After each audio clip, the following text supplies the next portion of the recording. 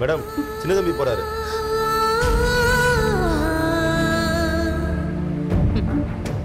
சார்னு சொல்லி பழகு.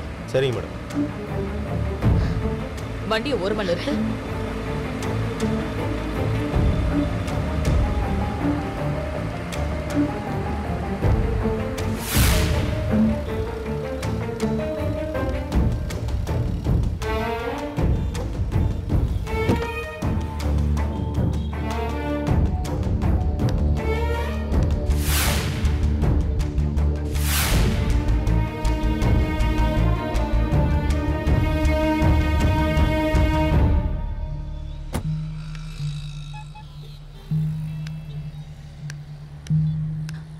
எங்க போயிட்டீங்க மாப்பிள்ள? அம்மா என்னை ஊருக்கு வர சொல்லிட்டாங்க. கல்யாணத்துக்கு அப்புறம் பொண்ணு விட்ட அண்டி வீட்டோட மாப்பிள்ளையா தான் அசிங்கம்னு அம்மா சொல்லிருச்சு. அதான் ஊருக்கு புறப்பட்டு போயிட்டு இருக்கோம் அப்போ என் பொண்ணோட வாழ்க்கை?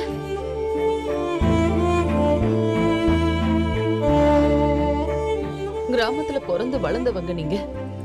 கல்யாணங்கிறது ஒரு பொண்ணுக்கு எவ்வளவு முக்கியமான விஷயம்னு உங்களுக்கே தெரியும். அது தெரிஞ்ச நீங்களே என் பொண்ணுக்கு தாலி கட்டின அடுத்த நிமிஷமே. அவளை தவிக்க விட்டுட்டு போலாமா? அழாதடி. ஊர்ல பல பேருக்கு நல்லது பண்ண ரத்னசாமிக்கு பிறந்த பையன். இந்த தப்ப பண்ணலாமா? சொல்லுங்க. இதுக்காகவா? என் பொண்ணு கழுத்துல தாலி கட்டுங்கன்னு உங்ககிட்ட கெஞ்சி கேட்டேன்.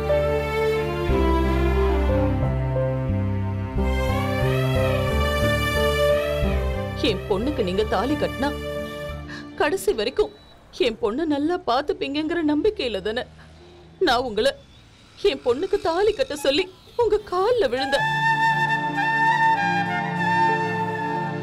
ஆனா நீங்களே என் பொண்ணு தனியா விட்டுட்டு ஊருக்கு போறீங்களே மாப்பிள்ள.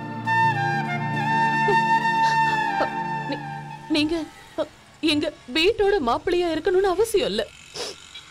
நானும் நானும் அதை அனுமதிக்க மாட்டேன்.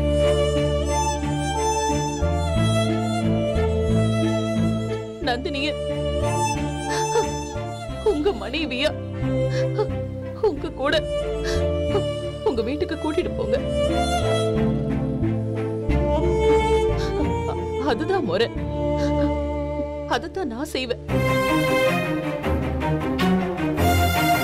என்ன மாப்பிள்ள பாக்குறீங்க? நந்தினி கார்ல இருக்கா. அவளை உங்க கூட நீங்க கூட்டிட்டு போகணும்னு நான் கெஞ்சி கேட்டுக்கிறேன்.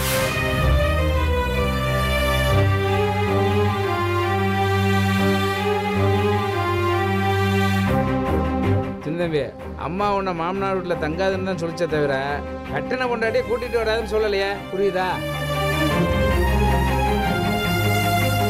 என்னப்பா பார்க்குற பொண்ணு வீட்டுக்காரங்க பொண்ணை வழி அனுப்பி வச்சா உன் பொண்டாட்டியை நீ கூட்டிகிட்டு தானே போன? அதானையா முறை. இங்கே பாரு உனக்கும் ஒரு தங்கச்சி இருக்கு. நாளைக்கு அந்த பிள்ளைய எவனாவது கட்டிக்கிட்டு அந்த நிமிஷம் விட்டுட்டு போனா நீ ஒத்துக்குவியா?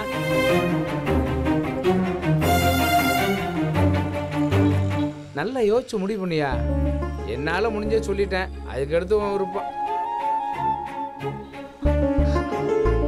என்ன மாப்பிள்ள யோசிக்கிறீங்க? என் பொண்ணு. உங்க கூட கூட்டிட்டு போவீங்க தானே?